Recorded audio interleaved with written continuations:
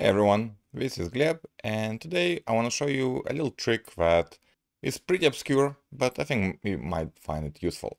So imagine we have elements on a page and some of elements are hidden using, for example, display none or opacity zero. Can you select just the hidden elements? Or the opposite, can you select just the visible elements? There is a jQuery selector that we can use. We can say, get me all hidden elements, colon hidden. It's not the CSS selector, it's jQuery own selector. And then you can confirm, for example, that there are two of them. Let's see if these are correct. There are two of them. Now notice it highlights one of them. So in reality, a opacity zero means the element is invisible, but it's there. It occupies space on a page, but Cypress considers that invisible because the user cannot see it. Yes, there is an empty spot, but it's not visible.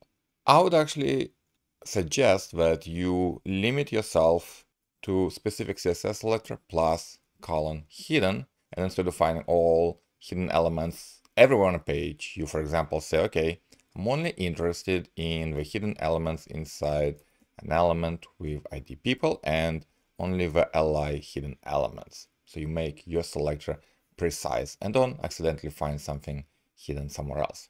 The inverse is also true. In addition to hidden, there is visible. And in this case, it selects visible elements.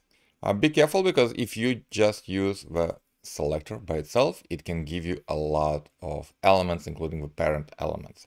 So in this case, notice it selects the list itself and then each li element because the list is visible and li elements are visible. Finally, if you get multiple elements, for example, you say, give me all the li elements inside people element, you can apply size filter and then say visible or hidden and filter the elements like that. So four elements, filter to only visible, and you have two of them. Find this recipe and lots more at my Cypress example site that I will link in the description of this video.